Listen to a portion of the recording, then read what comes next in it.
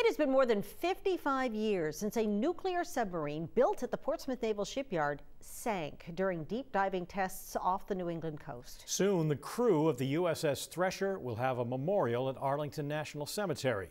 The process to create the memorial began last spring, and Pentagon approval was formally announced this morning. All hands, 129 men, were lost when the Thresher went down on April 10, 1963. The disaster led the Navy to create a program called SubSafe, which changed the way submarines are maintained and operated. While submarine service veterans say that saved countless lives, the loss of the Thresher crew is still fresh in the memory of family members.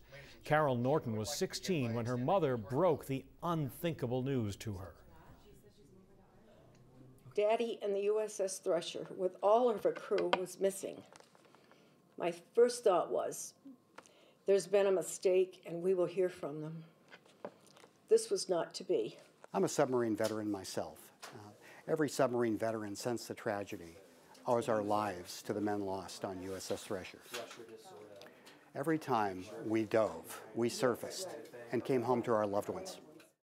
The memorial is expected to be dedicated sometime this fall. Supporters say the 3 million people who visit Arlington National Cemetery each year will be able to honor and remember the Thresher crew and learn about what happened in 1963.